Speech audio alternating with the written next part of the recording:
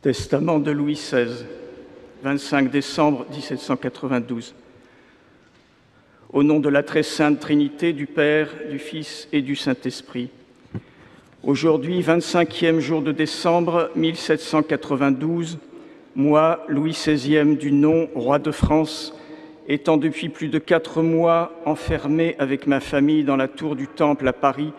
par ceux qui étaient mes sujets et privé de toute communication quelconque, même depuis le 11 du courant avec ma famille, de plus impliqué dans un procès dont il est impossible de prévoir l'issue à cause des passions des hommes et dont on ne trouve aucun prétexte ni moyen dans aucune loi existante, n'ayant que Dieu pour témoin de mes pensées et auquel je puisse m'adresser, je déclare ici en sa présence mes dernières volontés et mes sentiments. Je laisse mon âme à Dieu, mon Créateur. Je le prie de la recevoir dans sa miséricorde, de ne pas la juger d'après ses mérites, mais par ceux de notre Seigneur Jésus-Christ, qui s'est offert en sacrifice à Dieu son Père, pour nous autres hommes, quelque indignes que nous en fussions, et moi le premier. Je meurs dans l'union de notre très sainte Mère l'Église catholique, apostolique et romaine, qui tient ses pouvoirs par une succession non interrompue de Saint Pierre, auquel Jésus-Christ les avait confiés.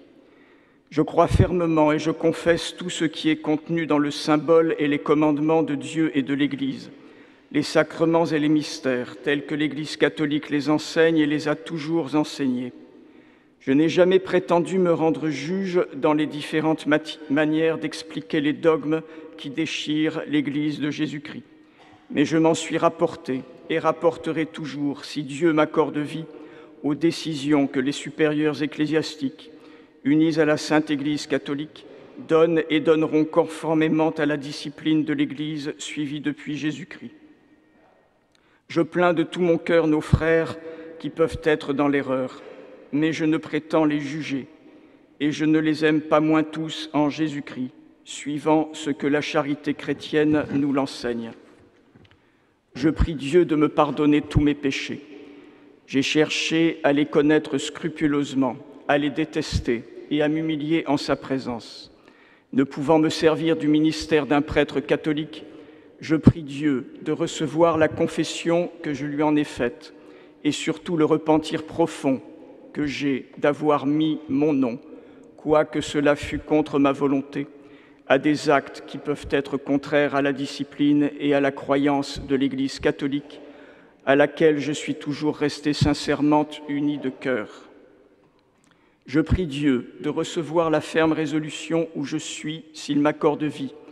de me servir aussitôt que je le pourrai du ministère d'un prêtre catholique pour m'accuser de tous mes péchés et recevoir le sacrement de pénitence. Je prie tous ceux que je pourrais avoir offensés par inadvertance, car je ne me rappelle pas d'avoir fait sciemment aucune offense à personne, ou ceux à qui j'aurais pu avoir donné de mauvais exemples ou des scandales, de me pardonner le mal qu'ils croient que je peux leur avoir fait. Je prie tous ceux qui ont de la charité d'unir leurs prières aux miennes pour obtenir de Dieu le pardon de mes péchés. Je pardonne de tout mon cœur à ceux qui se sont faits mes ennemis sans que je leur en ai donné aucun sujet. Et je prie Dieu de leur pardonner, de même que ceux qui par un faux zèle ou par un zèle mal entendu m'ont fait beaucoup de mal. Je recommande à Dieu ma femme, mes enfants, ma sœur, mes tantes, mes frères, et tous ceux qui me sont attachés par les liens du sang ou par quelque autre manière que ce puisse être. Je prie Dieu particulièrement de jeter des yeux de miséricorde sur ma femme, mes enfants et ma sœur qui souffrent depuis longtemps avec moi, de les soutenir par sa grâce s'ils viennent à me perdre et tant qu'ils resteront dans ce monde périssable. Je recommande mes enfants à ma femme, je n'ai jamais douté de sa tendresse maternelle pour eux. Je lui recommande surtout d'en faire de bons chrétiens et d'honnêtes hommes, et de leur faire regarder les grandeurs de ce monde-ci, s'ils sont condamnés à les éprouver, que comme des biens dangereux et périssables, et de tourner leur regard vers la seule gloire solide et durable de l'éternité. Je prie ma sœur de vouloir bien continuer sa tendresse à mes enfants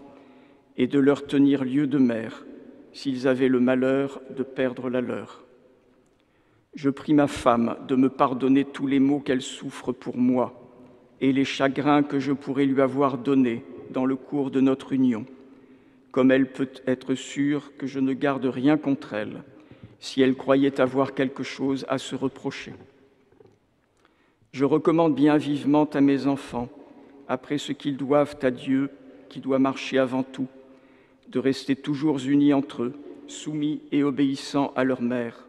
et reconnaissant de tous les soins et les peines qu'elle se donne pour eux, et en mémoire de moi. Je les prie de regarder ma sœur comme une seconde mère. Je recommande à mon fils, s'il avait le malheur de devenir roi, de songer qu'il se doit tout entier au bonheur de ses concitoyens, qu'il doit oublier toute haine et tout ressentiment, et nommément tout ce qui a rapport au malheur et au chagrin que j'éprouve. Qu'il ne peut faire le bonheur des peuples qu'en régnant suivant les lois, mais en même temps qu'un roi ne peut les faire respecter et faire le bien qui est dans son cœur, qu'autant qu'il a l'autorité nécessaire et qu'autrement, étant lié dans ses opérations et n'inspirant point de respect, il est plus nuisible qu'utile. Je recommande à mon fils d'avoir soin de toutes les personnes qui m'étaient attachées, autant que les circonstances où il se trouvera lui en donneront les facultés, de songer que c'est une dette sacrée que j'ai contractée envers les enfants ou les parents de ceux qui ont péri pour moi, et ensuite de ceux qui sont malheureux pour moi. Je sais qu'il y a plusieurs personnes de celles qui m'étaient attachées qui ne se sont pas conduites envers moi comme elles devaient et qui ont même montré de l'ingratitude, mais je leur pardonne. Souvent, dans les moments de trouble et d'effervescence, on n'est pas maître de soi. Et je prie mon Fils, s'il en trouve l'occasion, de ne songer qu'à leur malheur. Je voudrais pouvoir témoigner ici ma reconnaissance à ceux qui m'ont montré un véritable attachement et désintéressé. D'un côté, si j'étais sensiblement touché de l'ingratitude et de la déloyauté de gens à qui je n'avais jamais témoigné que des bontés, à eux, à leurs parents ou amis, de l'autre, j'ai eu de la consolation à voir l'attachement et l'intérêt gratuit que beaucoup de personnes m'ont montré je les prie d'en recevoir tous mes remerciements. Dans la situation où sont encore les choses, je craindrais de les compromettre si je parlais plus explicitement, mais je recommande spécialement à mon fils de chercher les occasions de pouvoir les reconnaître. Je croirais calomnier cependant les sentiments de la nation si je ne recommandais ouvertement à mon fils messieurs de Chamilly et Hue, que leur véritable attachement pour moi avait porté à s'enfermer avec moi dans ce triste séjour et qui ont pensé en être les malheureuses victimes. Je lui recommande aussi Cléry, des soins duquel j'ai eu tout lieu de me louer depuis qu'il est avec moi. Comme c'est lui qui est resté avec moi jusqu'à la fin, je prie messieurs de la commune de lui remettre mes hardes, mes livres, ma montre, ma bourse et les autres petits effets qui ont été déposés au conseil de la commune. Je pardonne encore très volontiers à ceux qui me gardaient les mauvais traitements et les gênes dont ils ont cru devoir user envers moi. J'ai trouvé quelques âmes sensibles et compatissantes, que celles-là jouissent dans leur cœur de la tranquillité que doit leur donner leur façon de penser. Je prie messieurs de Malzerbe, Tronchet et de Cèze de recevoir ici tous mes remerciements et l'expression de ma sensibilité pour tous les soins et les peines qu'ils se sont donnés pour moi. Je finis en déclarant devant Dieu et prêt à paraître devant lui que je ne me reproche aucun des crimes qui sont avancés contre moi. Fait double à la tour du Temple le 25 décembre 1792, Louis.